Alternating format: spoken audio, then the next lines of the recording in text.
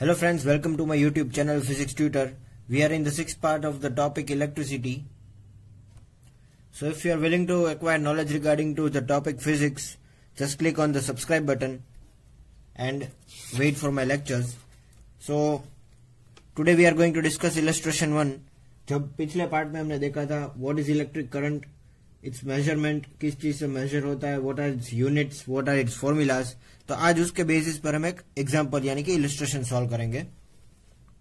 So the question is an electric bulb burns on an zero point 0.5 ampere current for one hour how much electric charge will pass through it यानी कि एक electric bulb zero point 0.5 ampere current पे एक घंटे तक चालू रहता है। How much electric charge will pass through it मतलब उसमें से कितना इलेक्ट्रिक चार्ज पास होगा? So data given is I यानी कि current that is 0.5 ampere then it burns for one hour यानी कि एक घंटे तक यह चलता है। तो T small T is equal to one is thirty six hundred seconds so, we need to convert this into seconds. If it is given in minute or hour, doesn't matter. We will have to convert it into second.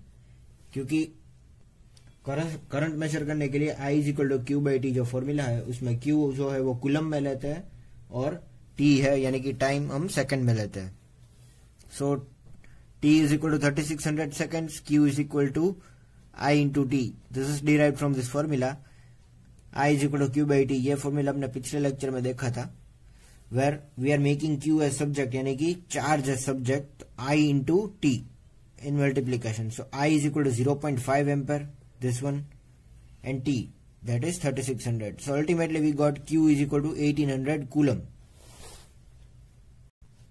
But what we need to find is how much electric charge will pass through it. Niki, what numbers of electrons will pass through it. So we also have the formula Q is equal to N into E. Yani electric charge is equal to number of electrons into charge of electrons. So n is equal to q by e. I'm making this a subject and uh, 1800 divided by 1.6 into 10 raised to minus 19. This is the value of e. So we can consider data given or if it is not given then we will have to assume the value of electron. E is equal to 1.6 into 10 raised to minus 19 coulomb. This is the charge of electron. By default we have to take this. So taking the value of Q as 1800 which we derived earlier ये जो हमने derive किए है इसमें से directly यहाँ पे रख देता हूँ and value of E So now if we divide this Q by E that is 1800 by 1.6 into 10 to minus 19 coulomb that is charge of electron we will get number of electrons passing through the bulb यानी कि ये इतने सारे electrons bulb से पास हुए होंगे एक घंटे में under 0.5 ampere current so we can tell this that's the charge passing through the bulb which was required to find so this was all about this lecture in my next lecture we will be discussing what is electric potential electric potential क्या है वो हम next lecture में discuss करेंगे. Till that time just subscribe my videos and keep watching